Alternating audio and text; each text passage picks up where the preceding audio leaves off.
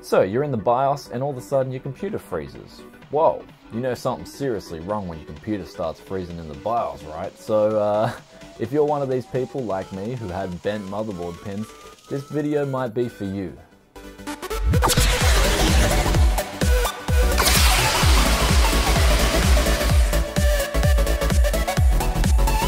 Welcome back to Tech Yes City, ladies and gentlemen. This is Bryan coming back to you guys today with a video on bent and broken motherboard uh, pins and what you should do if you ever come into this problem or this situation.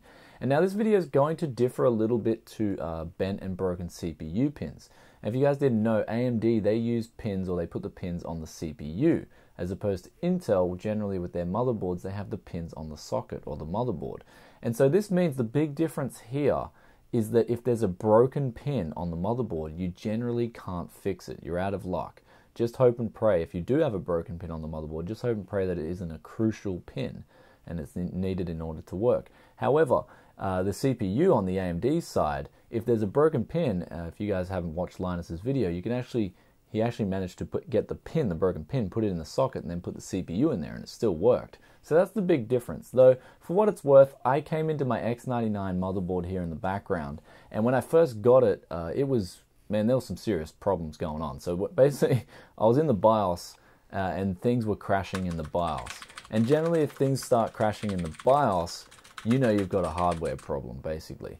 Uh, so what I did in this case was the fact that it just freezes completely, and it did this in Windows as well. When you get complete freezer of your computer, then what you want to do is you want to look at it, and it's most likely going to be the CPU because it can't even process a blue screen of death. And so in this case, I took everything out. I looked at the, um, I mean, I tried all the other standard troubleshooting things before I did it, but I then took out the motherboard, looked closely at the socket, and I noticed there was two broken pins and one bent pin. And so I had to proceed to bend that uh, the bent pin back. So before we get onto this, though, I will say one thing, and that is only do this as a last ditch attempt. For me, this is a review sample. I had nothing to lose, uh, so I did try to do this first. However, if I bought this as a brand new product, I would have shipped it back for a replacement straight away. So again, only do this as a last ditch attempt. You've tried everything else, and you've noticed you've got some bent CPU pins, you can't replace it, then you might want to give this a shot. Uh, but what, for what it's worth, I managed to have a UD4 X99 motherboard here already.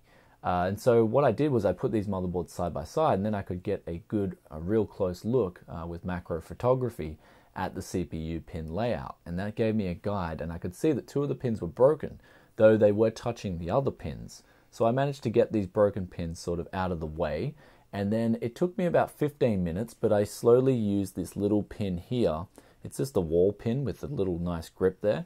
And I really took my time to bend the pin that was in the bottom region of the motherboard socket uh, back to its original position. And thankfully, uh, the two broken pins weren't crucial. I'm guessing they were in the um, power delivery region of the motherboard socket. Uh, the bottom pin bent back to normal and everything works perfectly fine. Uh, before I did the review, I managed to get this um, motherboard, so I managed to give it a good run, make sure that this problem wasn't um, affecting anything anymore. And so thank God it was working really well. So in conclusion, all I can say is if you're going to try this, seriously, do it as a last ditch attempt and you've tried everything else. And then uh, also while you're doing it, really be careful, really take your time. For me, as I said before, I took about 15 minutes to do this and I bent the pin at the bottom pin back in and I managed to get those other two pins out the way. Uh, for me, I was lucky to have this other motherboard here where I could use it as a refer, uh, reference photograph. Uh, however, you guys, if you don't have another motherboard, you may wish to get a picture off Google of the socket and then just line it up and compare it. And so put all the pins back to normal if you can.